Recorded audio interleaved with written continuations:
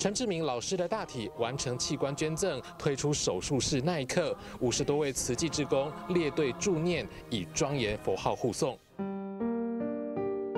陈志明老师四十五岁，上星期五在学校因脑干出血昏迷送医，二度宣布脑死，家人忍痛捐出他的器官。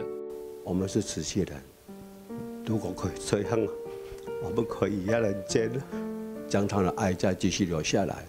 虽然我们是很痛，他是可以救了很多人。在家属的正向的思考之下，决定器官捐赠。他捐赠的器官包含心脏、肺脏、肝脏、肾脏及眼角膜腹内的血管及骨骼。往生前一天，陈老师还在帮父母亲搬家，一同吃晚餐。妈妈没有想到，这是母子俩最后一次一起吃饭。